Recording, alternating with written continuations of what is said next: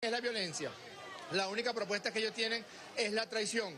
Si Uribe propone asediar, agredir, invadir Venezuela, pues siempre tendrá la derecha venezolana que lo apoye.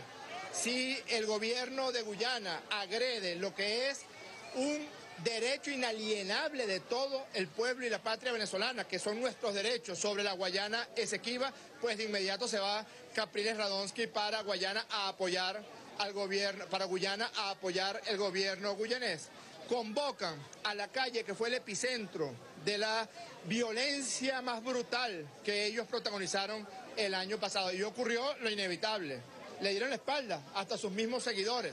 Se quedaron sin calle y ojalá se hayan quedado sin calle para siempre, porque cada vez que salen a la calle ocurre lo que ocurrió hoy. Fíjense lo que ocurrió hoy.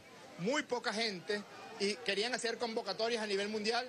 Venezuela y el mundo les dio la espalda, pero esa poca gente, bueno, desesperados, volvieron a cerrar la calle Hélice en el municipio de Chacao del estado Miranda.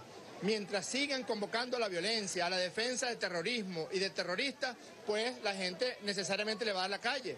Ya hasta los mismos opositores, la misma gente que vota por la oposición está harta, está harta de la violencia, eh, rechaza y repudia los asesinatos, los 43 asesinatos que ocurrieron durante la violencia del año pasado y considera que si alguien incurre en delitos de terrorismo, en delitos de violencia, en delitos que generen muerte, destrucción, pues necesariamente tiene que pagar ante la justicia. Yo creo que esa es la razón por la cual han perdido la calle no han podido convocar absolutamente a nadie. Las 19 mil marchas del inefable Chuo Torrealba solo ocurren en su, en su calenturientamente y la verdad verdadera es que aquí está la patria toda venezolana, desperdigada por las plazas que llevan el nombre de nuestro padre de la patria, Simón Bolívar, diciendo que colombianos, colombianas, venezolanas y venezolanos amamos la paz, amamos la vida y construiremos juntos el futuro.